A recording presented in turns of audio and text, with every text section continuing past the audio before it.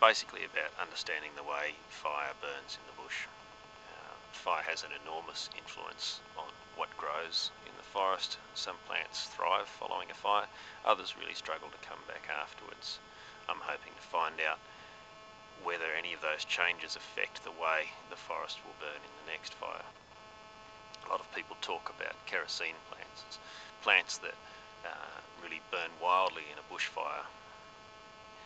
Some people say it's because of the oil content of the plants or because of the moisture or the density of the plant, wanting to investigate all of those different properties, see how they interact and see just what makes a kerosene plant. Uh, the big question, of course, is if a fire causes changes in the amounts of kerosene plants there, how does that affect the flammability of the forest as a whole?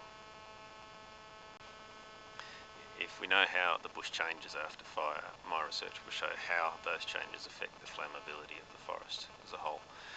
This is pretty important in areas like the high country where I work, where a lot of the bush responds to fire by coming back with very dense regeneration, even after a pretty gentle fire at times if we're going to use prescribed burning effectively, we need to know where it works and where it doesn't. I'm really hoping that I can help to answer that question with some of my work.